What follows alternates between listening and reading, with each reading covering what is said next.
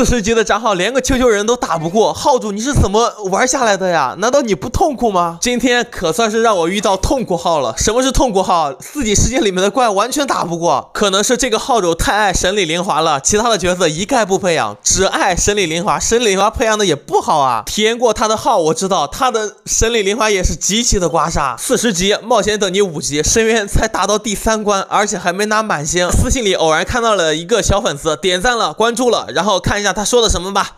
帮我抽一个黎明神剑呗！我靠，什么意思？只要一个黎明神剑，现在的粉丝要求怎么这么低了？你好歹要个金啊！黎明神剑只是一个三星的武器啊，我都上你的号了，至少得给给你带一点收益吧，至少让你的世界，你的你能打过你世界的怪，不然的话我不白来了。你有黎明神剑也不靠谱呀，他应该是想给林华使用，但是林华有四星的武器可以使用的呀。这个小粉丝他第二层的话只拿了八颗星，我帮他把这个星星给补齐，然后继续帮他打通几关深渊，因为他后面有要求让我帮他打通深渊的，尽量给他打吧。第二层直接满星通过，现在的话是直接领取一百原石。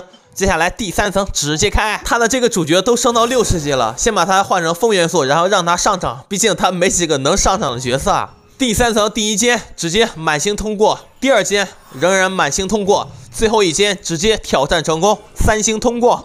接下来就是第四件了，我把自己能打通深渊的技巧告诉你们啊。第三件的话，你就用风元素打通深渊，那是轻轻松松啊。第四关的话，你要用雷元素去打，没有雷元素可以拿你的风主啊去那个道期与那个七天神像共鸣一下就行了。拿下了，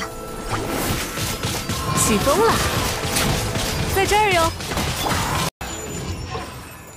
然后的话，第四层第一间的话只拿到了两颗星。其实剑牛也不是万能的，我只能根据你的你有的角色，然后慢慢的去配对，然后才能渐渐的拿满星。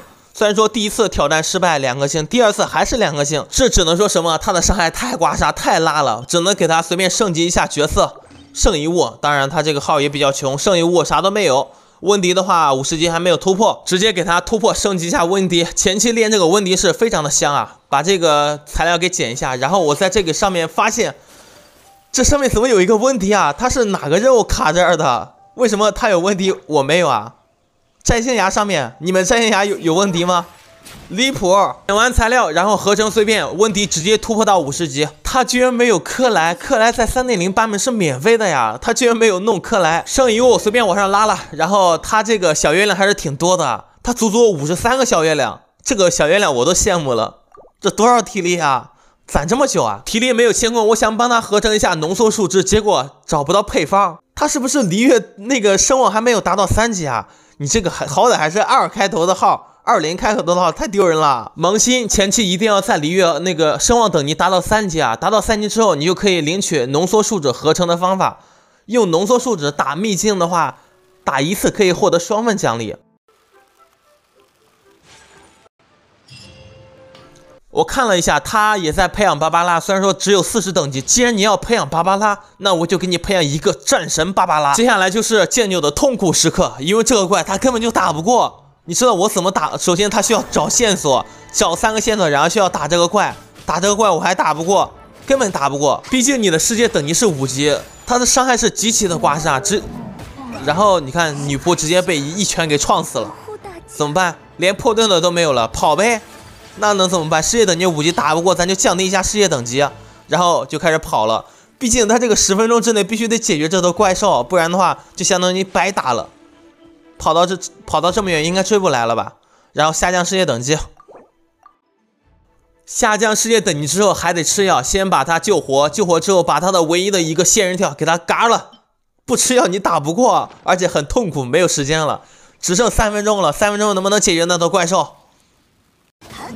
只能说悬，非常的悬。在最后还有十几秒的时候，我手都快点抽筋了，才勉强把这个怪给嘎死，不容易，真的非常非常的不容易。这个号主太难了，还有一个骗的是打那些璃月的盗宝团啊，一一共大概六个盗宝团，结果我没打过，我打了刮了五分钟才把他们给刮死。终于在我努力了很久的情况下，还是把他的璃月等级声望提升到三级，领取了一个浓缩树脂的合成方法。这个东西是蛮重要的，我都不知道号主怎么玩的这个游戏啊。浓缩树脂好了，但是他没有金蝶呀，所以说我还得还得去跟他抓金蝶。哎呀，我真的是服了！你这个号主，你还玩不玩游戏啊？金蝶都不抓，什么任务也不做，过分。然后我想跟他打一个海染套装，结果地图还没开，真的是，哼！帮人帮到底，送佛送到西。地图开，开地图的路上，我还被这个雷暴的雷给劈死了。劈死之后，居然隐隐藏了一个成就啊！雷火之乱。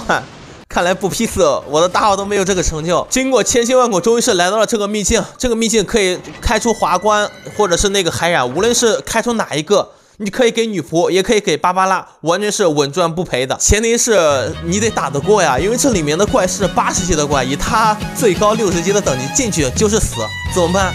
只能召唤我的大神团。有没有六级以上的萌新？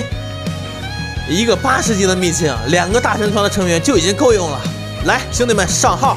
我们只需要在这里静静的等待着大神降临这个位面。等两位大神团的成员降临到这个世界之后，他们变成这个世界的主宰，没有打不通的秘境。大神团召唤之摆烂的七七，第一位大神团成员被我召唤出来了，入眼的便是雷电将军，雷神这一块人家玩的明明白白的。七七大人来这个世界之后，然后等等待了大概几秒钟的时候，第二位大神团的成员也是直接来到，胡桃一人足矣。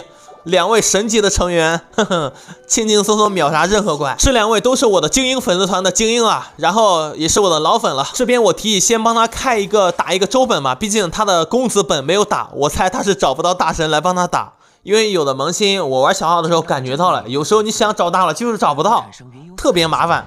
但是我还是很容易就找到的。后面的话，我会多建几个交流群，到时候萌新打不过的怪，直接像我一样召唤大佬就可以了。打这个秘境，然后就是刷海染套装，一共只用掉了他两颗小月亮，但是我给他充了一个小月卡当做补偿，不会让粉丝亏的。打完公子一个突破材料，然后是两个金色的圣遗物，但是这两个圣遗物它并不是特别好，但是也能用，能勉强使用吧。接下来就是刷海染套装，刷海染的话一共只打了六次就直接刷满了，第一层直接挑战成功。看一下奖励吧，第一次刷就直接全部都是海染套装，有三个不一样的，这就相当于刷了三个海染套装。芭芭拉只需要生命回血抽能就可以了，当然你前期你不看主词条也能用，毕竟咱只要一个四条四件套的一个收益就行了。当然能刷到更好的，我会给他刷更好的，但是这个号还是比较好的，六次直接刷满了。接下来是第三次，第三次又刷了一个金色的花，他这个刷海染的概率这么高的吗？我之前的话是用十个小月亮才刷出来。他用了一个一天的体力，再加上两个小月亮就刷齐了。接下来第四次刷出了一个不错的一个贝壳啊，这个是增加充能效果的，能用。因为他这个等级四星的已经很奢侈了，他连三星的剩余物都不多。接下来就是最后一次刷，最后一次他这个号的话，直接又出了海眼套装，出了一个羽毛，而且是金色羽毛。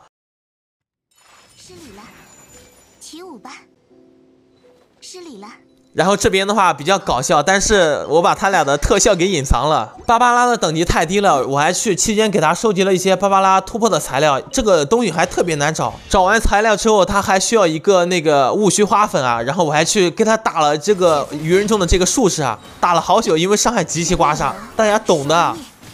早知道不让大神走这么快了，还要我自己慢慢的刮痧。他的这把武器也是直接升到了四十级，升到了五十级，完全不亏的。现在芭芭拉轻松不用大招情况下能拿到满星通关，而且炸一次五千伤害，集回血攻击于一体。你看一个大招一万七千的伤害，他比他的零花大招加起来伤害还要高。他四十级用这个海染套装过渡是非常非常的舒服，再加上他有零花可以达成永动流，再加上他有那个问题巨怪无敌了，直接满星通关。然后第三层也是满星通关，第四层全部满星通关。这下三百原石又到手了，接下来就是第五层，第一间两星，第二间三星通关，最后一层的话还是两星通关。其实也可以打满星的，但是我不想为这个号浪费时间了。阵容已经给你了，后面的话你自己挑战，百分之百是可以满星通过的。然后领取一只克莱，他也很强，需要培养一下。最后的话给他送上一只小月卡，因为之前用掉他两个小月亮刷那个海染套装之类的，他不会亏的。领取九十个原石，然后去给他抽奖，又到了精彩抽奖的时刻了。因为他上次刚抽了温迪，所以说这次抽三多的池子吧，直接一发十连抽。他的目标只要一把黎明神剑就行了，这对我来言那不是简简单单吗？居然不要金，这要求只能这么低了呀！一直扫右，然后黎明神剑直接出，任务就这样简单的完成了。他这边的话只出了一个黎明神剑啊，继续一发单抽，直接处死，出了一个新的角色，直接第二发单抽一把黎明神剑，直接到手两把了吧？两把黎明神剑，最后把它这个全部兑换成原石。小月卡就相当于小惊喜，我不会跟他讲的。到时候他第二天登录游戏，发现突然多了九十个原石，我相信他肯定很高兴的。你这个号虽然是痛苦号，但是怎么这么欧啊？已经三个紫了，三个紫色，然后这一次又出了一把黎明神剑，要什么来什么呀，兄弟。OK，今天就到这里了，最后记得点赞关注啊，下一个可能就是你哦。